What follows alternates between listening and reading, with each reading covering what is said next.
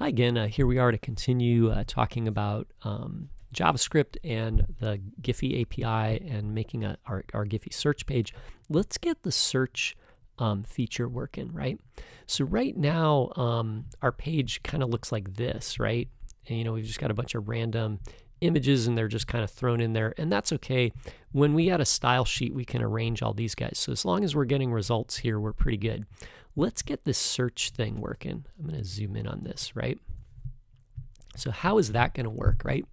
Let's go into our code and check it out.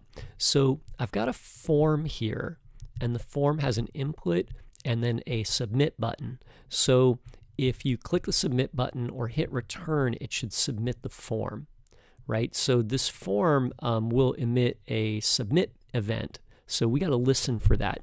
We only have this one form on the page, so it's probably a good idea to use an ID on it. So let's call it like search form.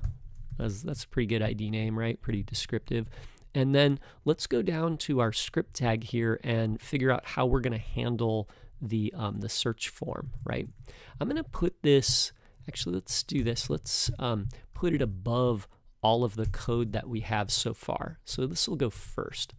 So let's say const um, search form equals uh, document dot uh, get element by ID, and our ID is called search dash form.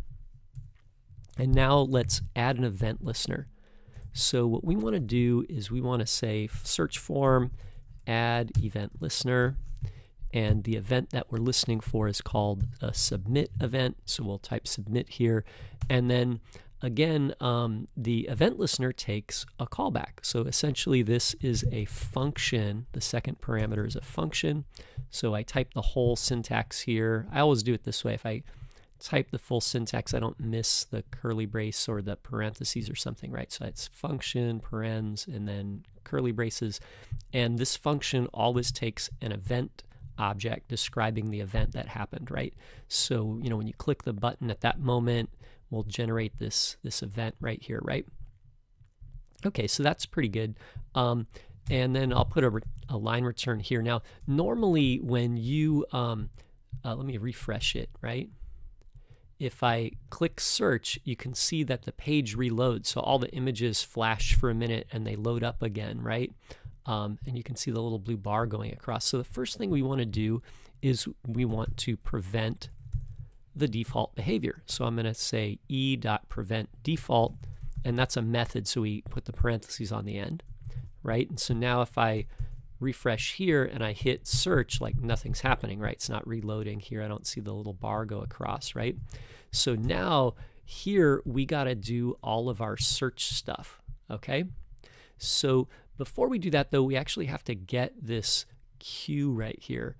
And then I have a bunch of code down here that isn't in a function. It's not wrapped in any kind of like code block or anything. It's just a call to fetch. So that means like as soon as you load the page, all of the code here runs just immediately one time. Okay. We need to be able to um, run this code when we want to run it and be able to do it again and again. So what we're going to do is we're going to wrap all of that code that we wrote previously in a function. So I'll make a function here and I'll call it um, search. Yeah, how about search? That's pretty good, right? And then I'll make the curly brackets, right? So, you know, here's the beginning of my function, there's the end of my function. I'm going to copy, or actually I'm going to cut all the stuff here everything down to the catch block, right? And then I'm going to paste it inside of my search function. And um, then I'm going to format it a little bit so it looks good. There we go, right? Okay, so here's my my search function, right? And that works, uh, seems to work pretty good. The problem here, though, is now I need to get this query right here of, of Q into the search. So it can't just always be cats, right? That's kind of not good, right? Cats are good, but they're not that great, right? We don't want cats all the time, right? So what I'm going to do is I'm going to pass this value into the function. So I'll move it here as a parameter of search, and then we can just delete it right there. Okay, so now we have to call search and include our query. And we'll do that up here in the search form. So in our search form, like after we prevent the default behavior, we'll call the search method and we'll need to include our query string, right? So where does this Q come from now, right? So now we need to get it. So we'll have to get it here from this input. Let's give this input an ID name.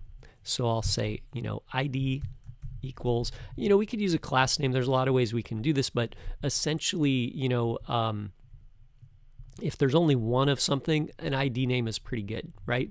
So I'll put the ID name here and let's put this, um, let's call this uh, search, I don't know, search input.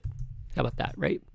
Um, and, uh, you know, we could get the, the thing here, you know, we could get a reference to search input here, but actually, why don't I do it up here and then that way we'll just do it one time and have it stored in a variable and then just reuse that reference instead of having to have the document run get element by ID again and again every time you click the button, right?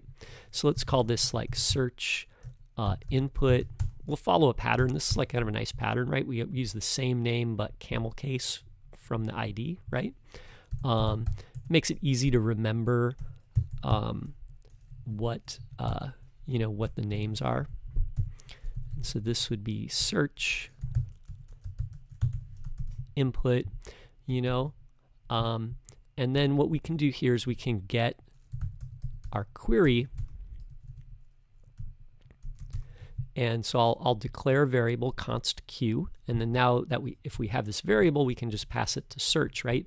And now we'll get the value from the input right? So the way that we do that is we say um, search input or whatever, you know, uh, form field that we want to talk to, and then you can say dot value. And that's like if it's got user input, value will be that user input. So if this is a text field, then this will be the text that someone typed into the field. Okay? And then we can pass it over here to our search function, and let's give that a try. So uh, so that's looking pretty good. And let's uh, let's refresh here. So now it doesn't automatically search because we've wrapped all of this stuff in the search function and we haven't run the search function yet. But if I click search, it will run the function. Let's type in, um, how about flowers, right? And then I'll search and then I get a bunch of flowers. What if I search for um, frogs? Uh, there I got a bunch of frogs, right? What if I search for uh, lamps, you know? I hit return that time, so it kind of worked, right? Hey, so that's looking pretty good. Um, there we go. So I think that that was pretty good. You know, one thing, like I said, that maybe it was a good idea to just do this code once. You know what? I just remembered that we actually did this uh, results element right here right? And we got the name for it. So actually, we could take this code out so we don't have to run that every time we um, we run this, we, we load the JSON, right? So let's take that out here and move it up to the top. So now results element, we'll just define it once and then we can use it throughout the page, right? And then that should still work the same. Let's search for the sun, right? So that kind of worked out well. Okay, so um, thanks for watching. I hope that's interesting, and then maybe we'll add some styles in the next video.